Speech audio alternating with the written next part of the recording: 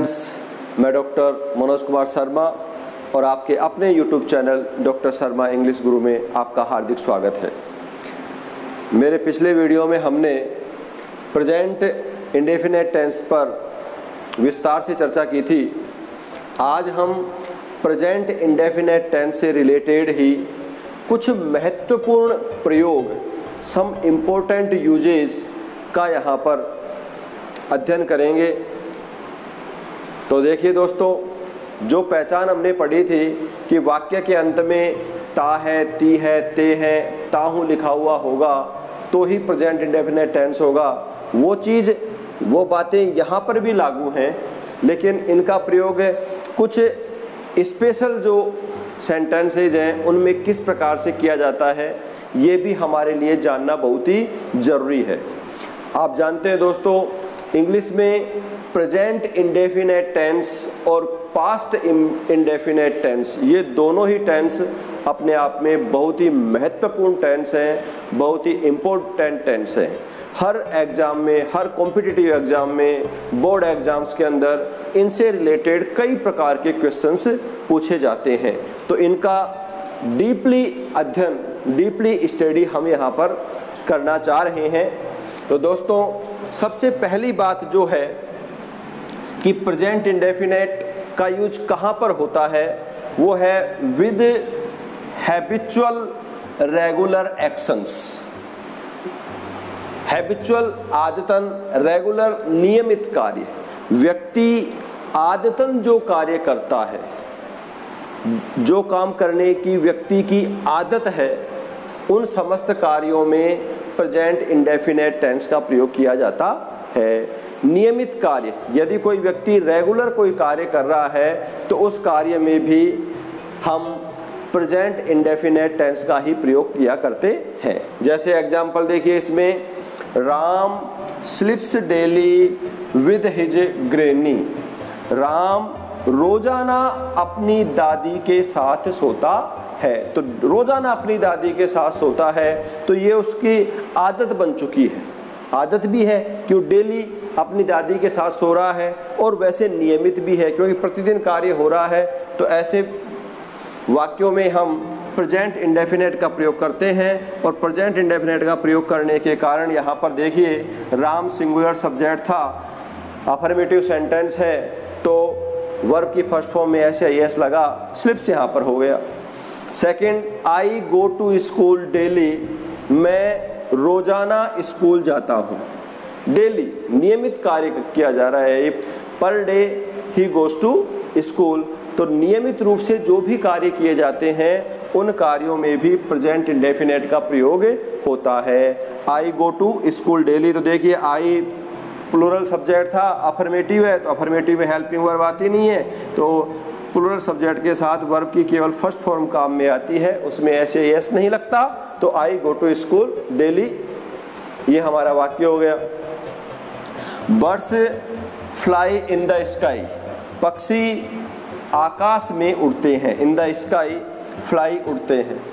तो ये पक्षियों की आदत है कि वो आकाश में उड़ते हैं तो यहाँ पर आदतन कार्य होने के कारण प्रेजेंट इंडेफिनेट टेंस का प्रयोग हुआ है। तो दोस्तों, आप इस बात को अच्छी तरह से ध्यान रखेंगे कि हमारे द्वारा जो भी हैबिचुअल कार्य किए जाते हैं, जिन कार्यों को करने की हमारी आदत है, आदतवश जिन कार्यों को हम करते हैं, या नियमित रूप से लगातार यदि हम किसी कार्य को करते हैं नियमित रूप से तो उनमें हम प्रेजेंट इंडेफिनेट टेंस का प्रयोग करते हैं। तो इस पर ध्यान रखेंगे। अफर्मेटिव है तो अफर्मेटिव में हेल्पिंग वर्ब काम नहीं आती है। यदि तो क्या करते हैं? सिंगुलर सब्जेक्ट है तो वर्ब की फ़र्स्ट फॉर्म में एस आई एस प्लुरल है तो केवल वर्ब की फ़र्स्ट फॉर्म काम में लेते हैं। और negative interrogative interrogative plus negative में हेल्पिंग वर्ब लगती है। सिंगुलर के साथ डज और प्लूरल के साथ डू और डू और डज का प्रयोग हो जाने हो जाने के बाद में चाहे सब्जेक्ट कैसा भी हो, चाहे सिंगुलर हो, चाहे प्लूरल हो, दोनों ही प्रकार के सब्जेक्ट के साथ केवल और केवल वर्ब की फ़र्स्ट फॉर्म काम में आती है। ये पहली बात हो गई। दूसरी बात हम देख रहे हैं, दूसरा यूज़ हम देख रहे हैं विद यूनिवर्सल ट्रुथ जो सार्वभौमिक सत्य है, जो सबकी नज़र में सत्य बात है, ऐसे वाक्यों में भी हमेशा प्रेजेंट इंडेफिनेट टेंस का ही प्रयोग किया जाता है। जो काम आज से हज़ारों साल पहले भी ऐसे ही हो रहा था, आज भी ऐसा ही हो रहा है और भविष्य में भी इसी प्रकार से होगा, उसमें किसी प्रकार का परिवर्तन होने की गुंजाइश नहीं है। ऐसे जो सार्वभौमिक सत्य हैं, उनमें हम हमेशा प्रेजेंट इंडेफिनेट टेंस का प्रयोग किया करते हैं। जैसे देखिए, the earth moves round the sun. पृथ्वी सूर्य के चारों ओर चक्कर लगाती है। सार्वभौमिक सत्य है, इसलिए यहाँ पर मूव्स प्रेजेंट इंडेफिनेट का प्रयोग हो गया। The moon moves round the earth चंद्रमा पृथ्वी के चारों ओर चक्कर लगाता है। तो यहाँ ये यूनिवर्सल ट्रुथ है, इस कारण से यहाँ पर प्रेजेंट इंडेफिनेट टेंस का प्रयोग हुआ है। और भी इस प्रकार जैसे the sun rises in the east सूर्य पूर्व दिशा में उगता है। The sun sets in the west सूर्य पश्चिम दिशा में छिपता है।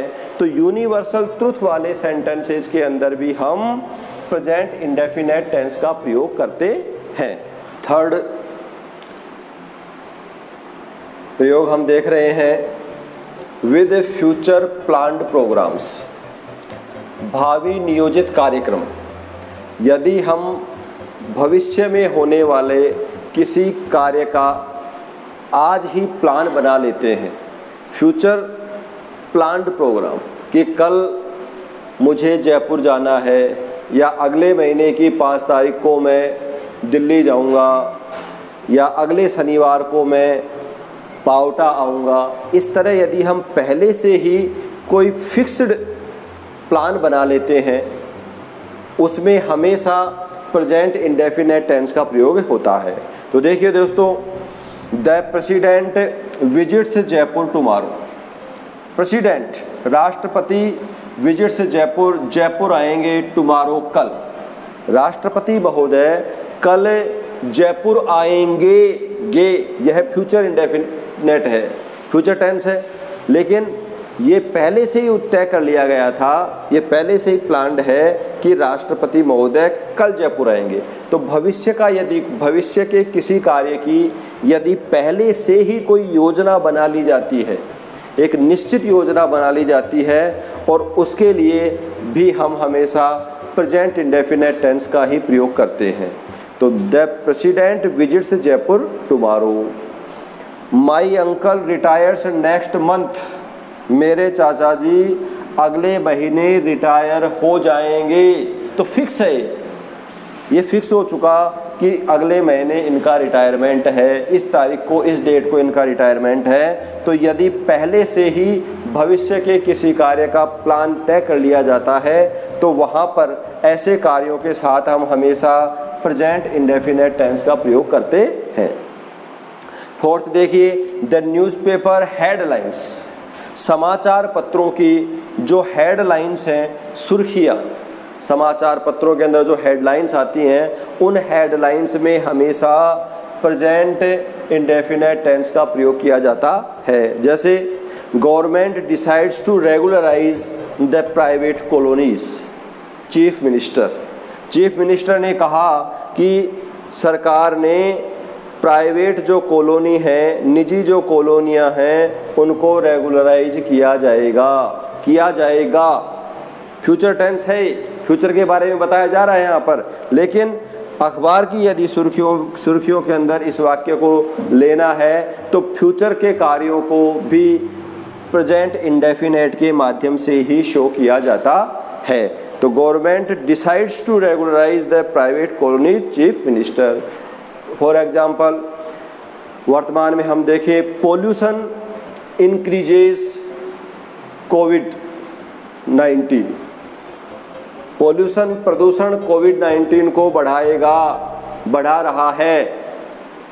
तो वहाँ पर हमने देखा, अखबार के माध्यम से इसे बता रहे हैं न्यूज़पेपर के माध्यम से इसे बता रहे हैं तो पोल्यूशन इंक्रीजेस कोविड 19 इस तरीके से न्यूज़पेपर की हेडलाइंस में भी प्रेजेंट इंडेफिनेट टेंस का ही प्रयोग किया जाता है।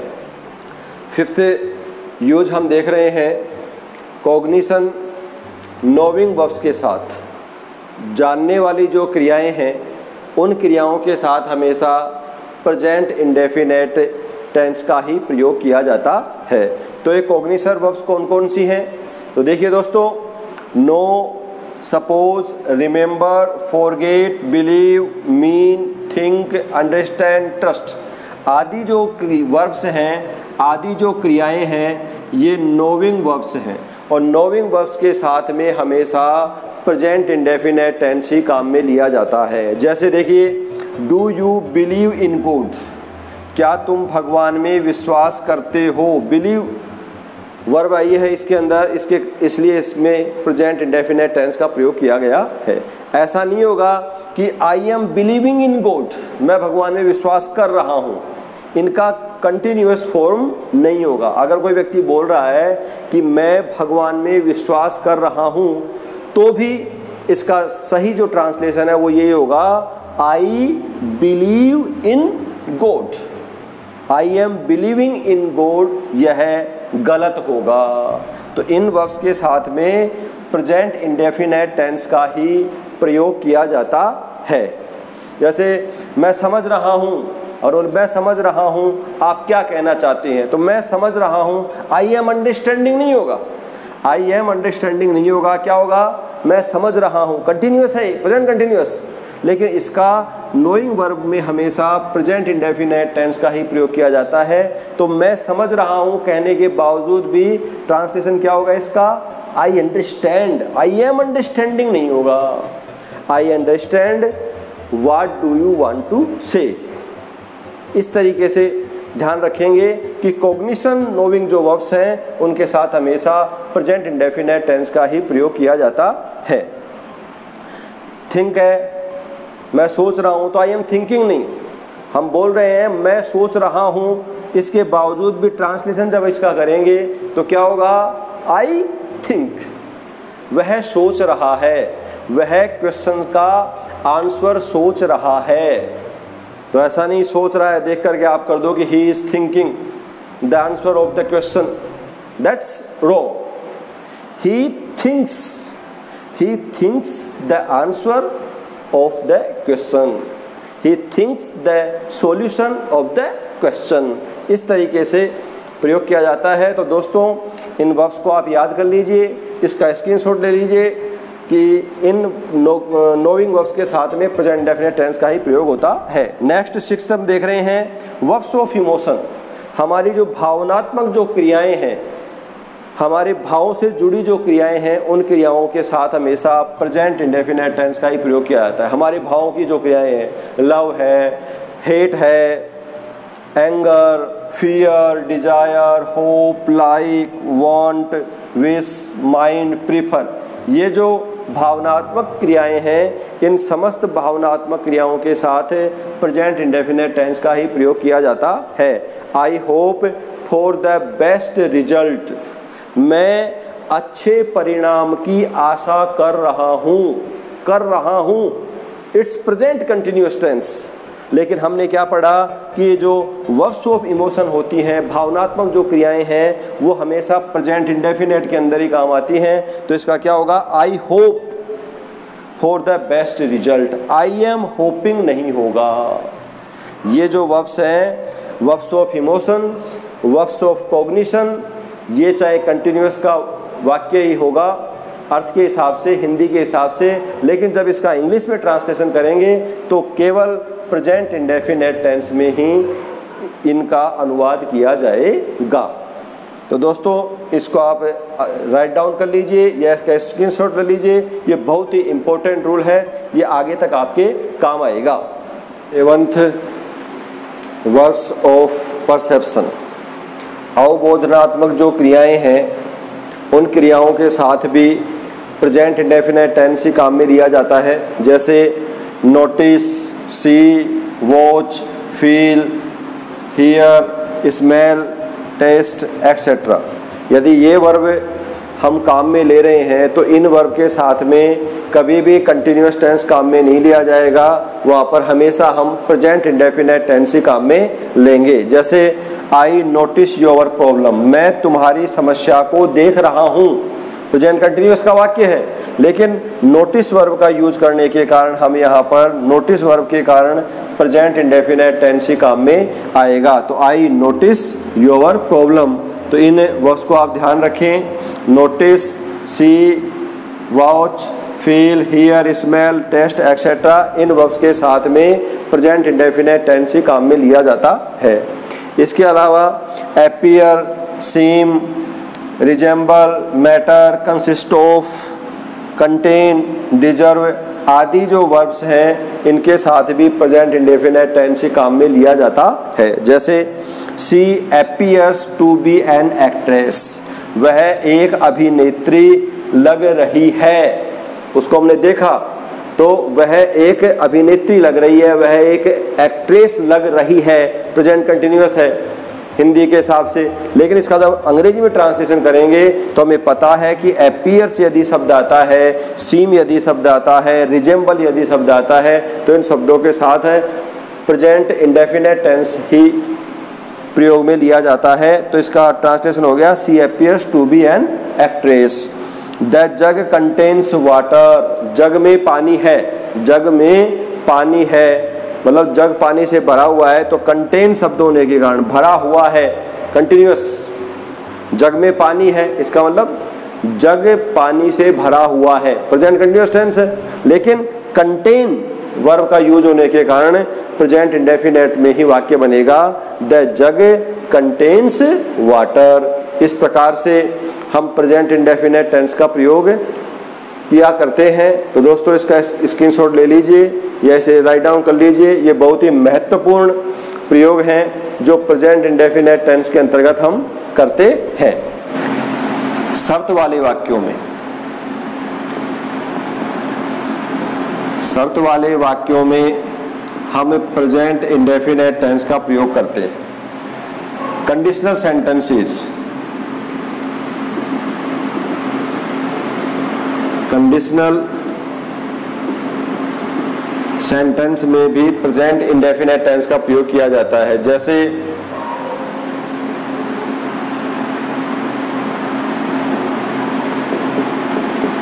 कठिन परिश्रम करो।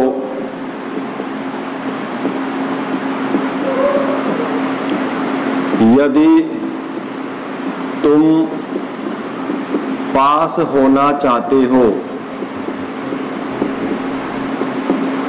एक कठिन परिश्रम करो। ऑर्डर्ड तो हो जाएगा वर्क हार्ड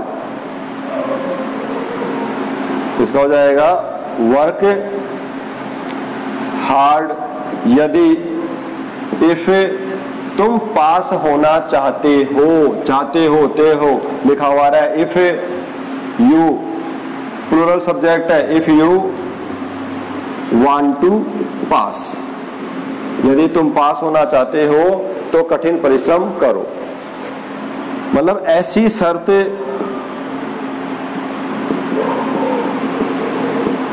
जो पूरी हो सके जिसको पूरा करने के लिए हमारे पास समय हो, जिसको पूरा करने के लिए हमारे पास अवसर हो to be fulfilled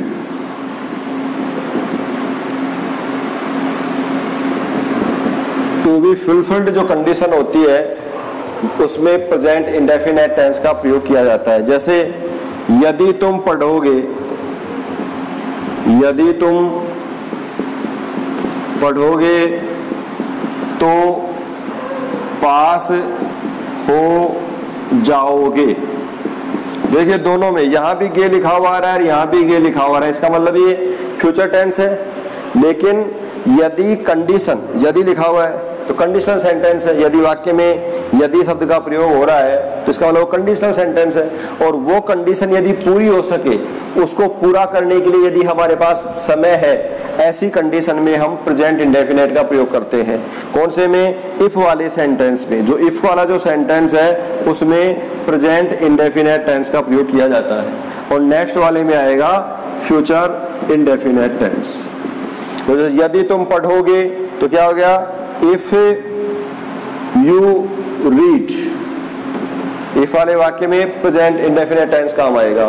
if you read यदि तुम पढ़ोगे और नेक्स्ट वाले में आएगा future indefinite you will pass तो ये प्रेजेंट इंडेफिनेट टेंस से संबंधित कुछ महत्वपूर्ण यूजेस थे जिन, जिनको आना हमारे लिए बहुत ज़रूरी है। एग्ज़ाम की दृष्टि से भी ये बहुत इंपॉर्टेंट है तो इन्हें अच्छी तरह से आप लर्न करें। और यदि दोस्तों आपको मेरा ये वीडियो पसंद आया हो तो प्लीज़ इसे लाइक और शेयर करें। और अंत में मेरे लेटेस्ट अपडेट्स प्राप्त करने के लिए बेल आइकन को अवश्य प्रेस करें। थैंक